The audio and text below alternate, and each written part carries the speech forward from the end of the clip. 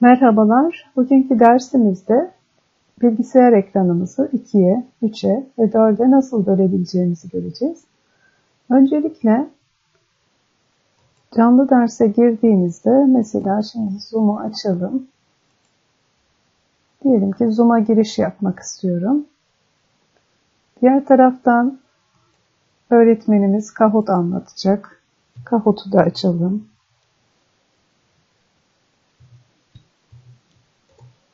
Şöyle yaptık diyelim ki. Şimdi ekran arasında geçiş yapmamak için Kahoot'un penceresini ayıralım. Bunu nasıl yapıyoruz? İki şekilde yapabiliriz. Öncelikle web sayfalarını nasıl ayıracağız? Bakın sürükledim. Fareyle buradan tuttum, bıraktım. Bıraktığımda buraya geldi. Fareyle buradan adres çubuğundan tutup şöyle bir bu tarafa alalım.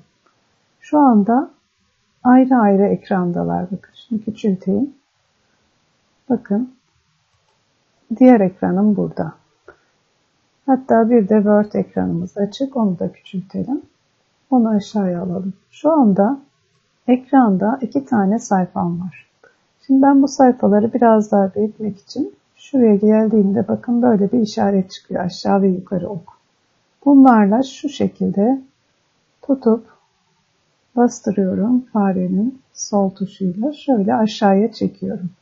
İşte ekranımızı ikiye böldük. Peki buraya üç tane ekran açacak olursak bir tane de bir tane daha ekran açalım mesela. O da Menti programı olsun ya da Taggle açılsın.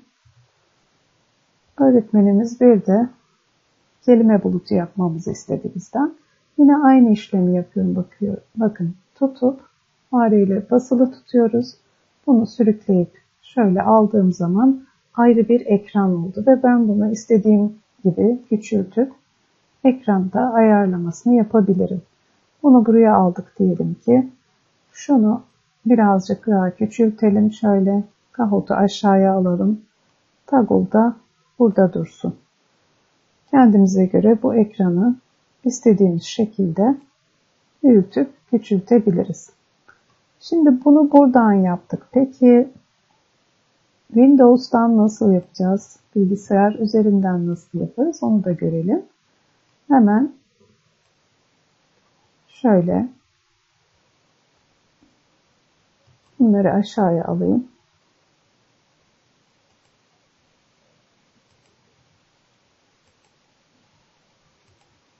Şöyle aldım. Şimdi bilgisayarda şurada bir bilgisayarın başlat sekmesi var. Bakın şuradaki işaret. Ona tıklıyoruz.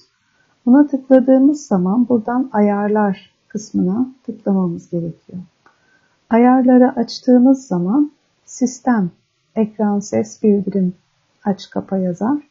Buraya tıklıyoruz bir kere. Buraya tıkladığımızda çok görevli yazılan yere bir kere tıklamamız gerekiyor. Çok görevliye tıkladığımız zaman bakın pencereleri açık tut olması gerekir.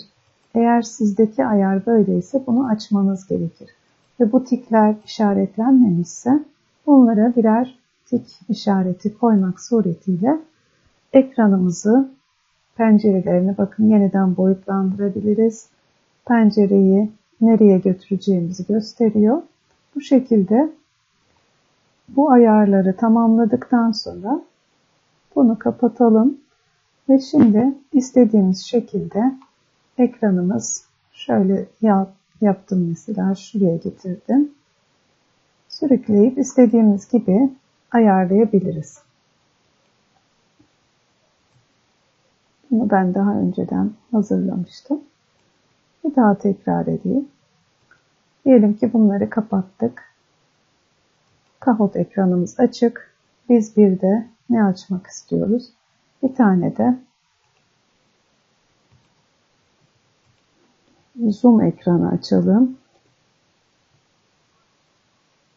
Zoom ekranını aldım.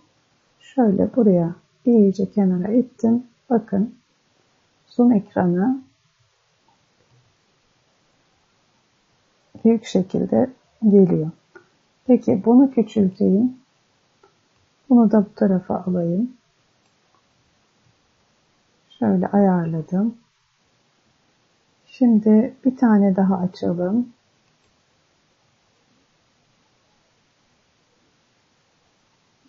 Şöyle bir tane de Word ekrana yazı yazacağım diyelim ki. Bunu da büyüttüm. Ve getirdim. Şöyle bıraktım. Şu şekilde ayarladım.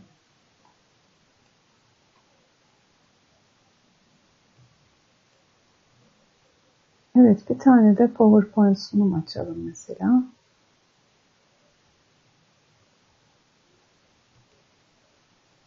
Onda da yine onu da küçülttük. Şöyle aldık şu köşeye. O da oraya yerleşti bakın. İstediğimiz şekilde ekranımızı bu şekilde bölebiliriz. Eğer 3 tane yapacaksak şunu kapatalım. Hemen zoom ekranını biraz daha büyütelim.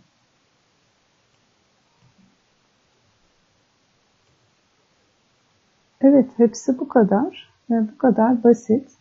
Lütfen bundan sonrası için derslerde ekranı bölmek suretiyle etkinliklere daha kolay katılın. Hepinize iyi çalışmalar diliyorum.